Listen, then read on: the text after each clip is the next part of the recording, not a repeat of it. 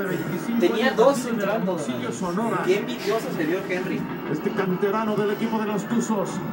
Pelota en el aire que Jorge Sánchez rechaza, pero el Pachuca tiene con Nico Ibáñez. Y ahí está.